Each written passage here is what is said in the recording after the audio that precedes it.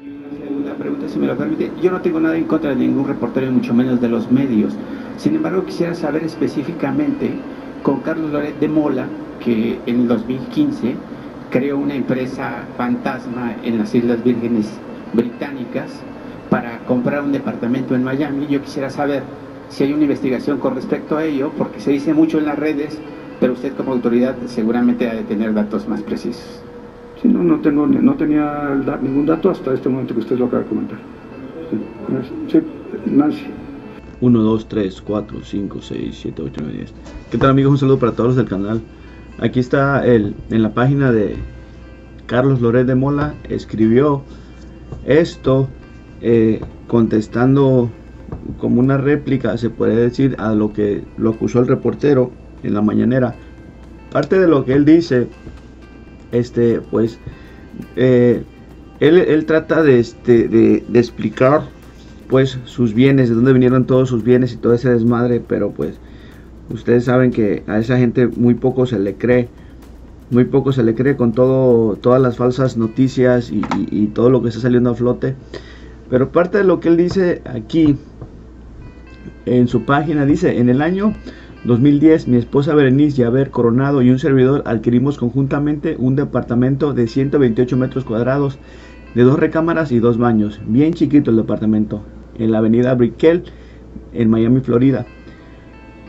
Dice, hemos estado pagando puntualmente todos los impuestos correspondientes a esa operación, así como todos los subsecuentes no solamente el impuesto sobre la propiedad de bienes raíces que se cita en la publicación, sino también el impuesto a la propiedad personal tangible, así como los gravamenes y servicios derivados. Para realizar la compra, mi esposo y un servidor tomamos una Limited Liability por sus siglas en inglés, figura que es totalmente legal y de uso común para operaciones comerciales de bienes raíces o de negocios en Estados Unidos.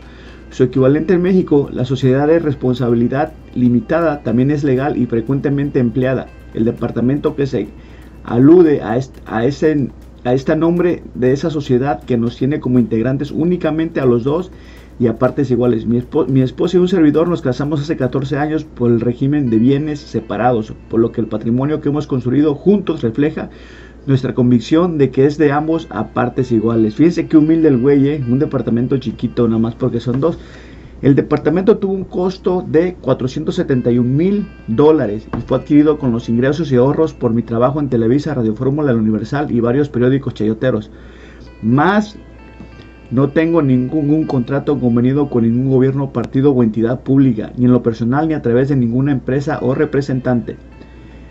Todos mis, ingresos que son legales, legítimos y transparentes están debidamente reportados en mis declaraciones fiscales. Desde el año 2006 mis declaraciones fiscales son realizadas y revisadas por el, por el prestigiado despacho Mancera Ernest Young. Dice atentamente Carlos Loret de Mola, o Carlitos, como le dice su papá a veces. En una página que se llama... Ah, se llama en la política.com, estaba una nota similar, pero en la que se acusa a López Dóriga.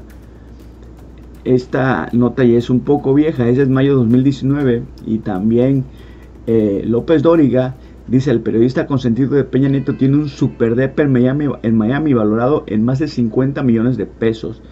El superlujoso departamento de López Dóriga en la ciudad de Miami se ubica en el domicilio Boulevard Island número 6000 Suite 2406, la costosa propiedad del periodista Joaquín López Dóriga, se localiza en el complejo inmobiliario denominado Bella Maré, que cuenta con 30 pisos y un total de 210 departamentos de lujo a toda madre.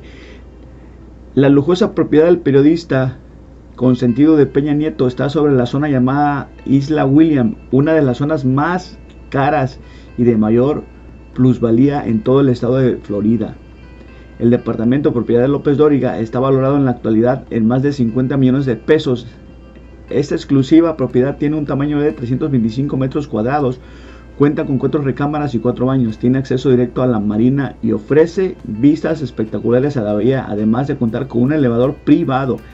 Entre las amenidades, con las que cuenta este lujoso complejo inmobiliario destacan con los servicios de conserje, lobby elegante amueblado, gimnasio, sauna y baño de vapor piscina con calefacción, spa, asadores y pabellones alrededor de la piscina.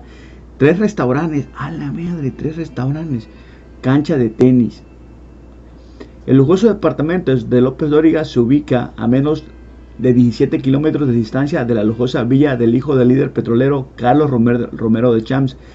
El super depa del llamado Teacher tuvo un valor de compra superior al departamento de Angélica Rivera, también ubicado en el condado de Miami-Dade, Florida.